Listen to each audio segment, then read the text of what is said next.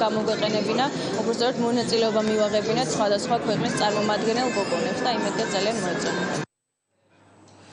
ყველა გოგოს საოცნებო ისტორია. იღბლიანი, თუმცა არც ისე დალხენილი ცხოვრების მქონე კონკია კინორეჟისორების მუზად კიდევ ერთხელ იქცა. დისნეი კონკიას მასშტაბურ ეკრანიზაციას გვთავაზობს. 65 წელი გავიდა მას შემდეგ, რაც ობოლი გოგონას ისტორიაზე პირველი ანიმაციური ფილმი გამოვიდა. ახლა კონკია კი ზღაპრის ამ თემატიკაზე შექმნილი უკვე მეშვიდე ფილმი იქნება. ქართველი მაყურებელი კინოსურათ სოფლიო პრემიერამდე ერთი დღით ადრე ხვალ საღამოს იხილავს.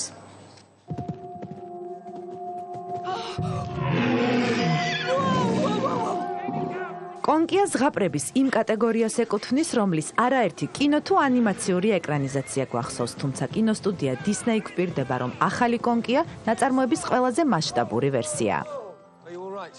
თავაროლს ლილი ჯეიმსი ასრულებს, ხოლო პრინც რიჩარდ მადენი განასახიერებს, რომელიც მაყურებელმა სერიალით სამეფო კარის თამაში გაიცნო. კენეთ ბრანაგის რეჟისურით გადაღებული ყველა დროის პატარა გოგონების საოცნებო სიუჟეტი ორიგინალი ზღაპრის ხასი მეორებს. თუმცა არის განსხვავებული დეტალებიც. კონკიას ბოროტი დედინაცulis როლს მომხიბვლელი კეით ბლანშეტი ასრულებს. შესაბამისად, გარეგნობის თვალსაზრისით ის ჩვენს წარმოსახვაში დამკვიდრებული დედინაცulis ტიპაჟისგან რადიკალურად განსხვავდება.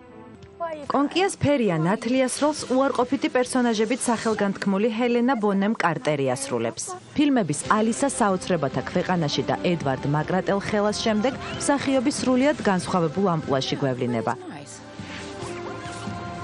კონკიას მეშვიდე ეკრანიზაცია კიდევ ერთ საინტერესო ნიუანსს ახდის ფარდას. მაყურებელი გაიგებს კონკიას უცნაური სახელის სინდარელას წარმოშობის ამბავს.